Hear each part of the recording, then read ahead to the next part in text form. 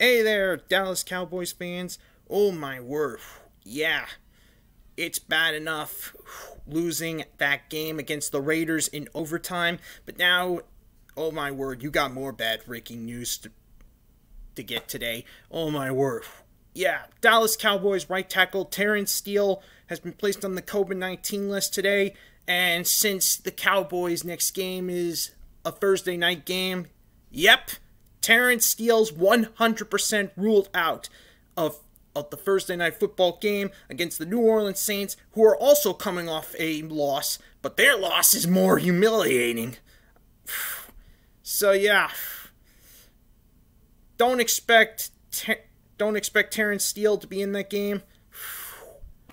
Oh my word, this is un- unprecedented. Anyway, Terence Steele, get well and hope you get off the COVID list soon. And I'll see you all when I bring you even more breaking news.